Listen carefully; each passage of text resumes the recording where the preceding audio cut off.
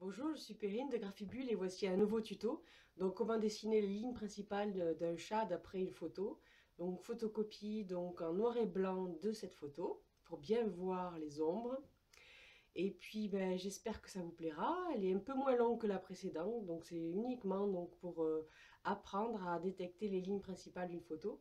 Celle-ci est assez facile et j'espère que ça vous plaira. N'oubliez pas de commenter pour que je puisse améliorer euh, ce type de tuto. Et puis, ben, vous êtes libre de partager cette vidéo à tous ceux qui en auraient envie, plaisir ou besoin. Et euh, ben, je vous invite à vous abonner à la chaîne de Graphibule sur YouTube ou bien à euh, vous abonner à la fanpage de Graphibule pour ne louper aucun tuto. Bon dessin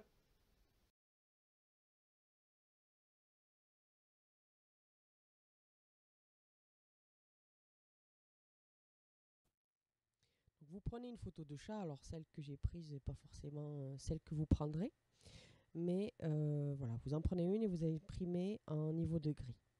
Avec un marqueur bienvoyant, vous allez repérer donc les contours principaux de la photo.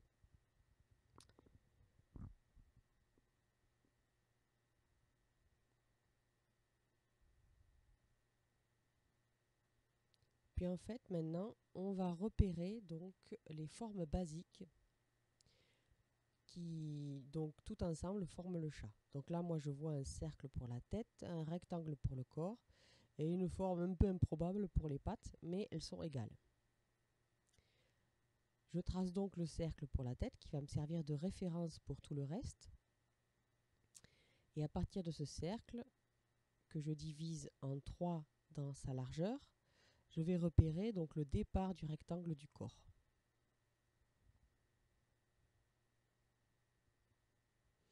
Et le côté supérieur du rectangle du corps, donc par rapport à à peu près un tiers de la hauteur de la tête. Et maintenant, là où va se placer les pattes, je divise en deux le cercle dans sa hauteur et je vais reporter cette demi jusqu'au bas du corps parce que j'ai remarqué qu'en fait euh, la hauteur du rectangle qui formerait la, la patte avant fait à peu près cette hauteur là. Alors évidemment, quand je, quand je fais ça, ce n'est pas dans le but de reproduire exactement la photo, mais surtout donc euh, son énergie principale, son énergie, voilà, sa signification principale. Le but, c'est qu'on reconnaisse un chat à la fin. Alors évidemment, vous me direz que mettre que les oreilles, ça, on reconnaît le chat. Mais là, c'est aussi euh, le gros patou euh, de chat. Voilà, un chat euh, bien dans son corps, on va dire. Donc j'ai remarqué aussi que la patte, la façon dont la photo a été prise, la patte avant, donc en premier plan, et celle qui est en, arrière-plan est à peu près égale. Alors, comme d'habitude, c'est une perspective, donc c'est-à-dire que vous l'avez été un peu plus haut et un peu plus à gauche. Et maintenant, je, je retrace en fait les traits principaux que j'ai pu euh, placer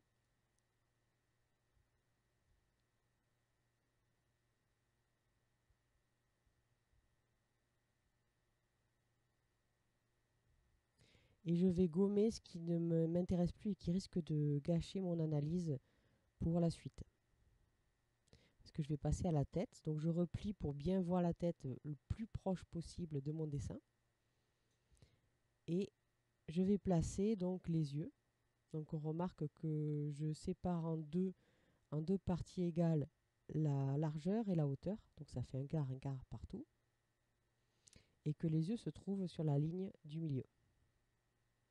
Je place euh, à peu près euh, donc euh, l'écart des yeux. Et ensuite je vais placer le bout du nez, le bout du bas du nez. Je place aussi un petit peu comme je veux les, le sourire, on va dire, la lèvre supérieure du chat. Et là, je vais m'appliquer à faire donc bien les ovales, un peu en chinoise du chat. Je remarque que le dessus de la tête n'est pas aussi rond que ce que le cercle donnait. je le rectifie donc. Et là, je passe donc à la hauteur, des définitions de la hauteur des oreilles. Donc toujours, je me base en fait euh, à partir de quelque chose que j'ai déjà dessiné, dont les proportions sont déjà faites. Ce qui permet de ne pas avoir à regarder exactement la photo. Et surtout, si votre photo, si votre dessin est plus petit ou plus grand que votre photo, comme c'est à peu près le cas, bon, pas exactement, mais un petit peu plus grand que la photo, celui que le dessin que je suis en train de faire, du coup, ça vous permet de vous adapter au niveau des proportions. Donc là, comme vous voyez, je me suis aperçu que l'oreille de droite était un peu plus euh, donc, penchée en oblique et aussi que l'oreille de gauche encore plus. Donc du coup, il faut bien penser à la hauteur. J'ai pas trop travaillé la largeur des oreilles, il aurait peut-être mieux fallu euh, donc élargir encore plus la base, puisque les oreilles de ce chat sont très très larges à la base et très arrondi au-dessus. Ce que je voulais surtout marquer, donc c'est le bas, donc avec les bas-joues, euh, le, pli, euh, le pli de la tête en dessous, donc au menton. Et je vais accentuer maintenant encore plus le côté arrondi du chat lorsque je vais repasser au marqueur. Donc vous choisissez un marqueur vert ou bleu, une couleur froide, parce que juste après, vous allez prendre un marqueur qui est beaucoup plus euh, dans les couleurs chaudes. Comme ça, ça se fera beaucoup mieux. Donc là, hein, je repasse vraiment les lignes principales, mais euh, toutes quoi. Tandis qu'avec le rouge, je vais vraiment prendre l'essentiel. Le but étant de trouver ces lignes essentielles. Le but de tout ce tuto est de trouver les lignes rouges. Alors pour mon vert, euh, vous pouvez aussi très bien passer au crayon, comme ça vous l'effacez et il vous restera à la fin que votre marqueur rouge. J'espère que ce tuto vous a plu. Voici donc, euh, comment détecter les lignes principales de cette photo de chat.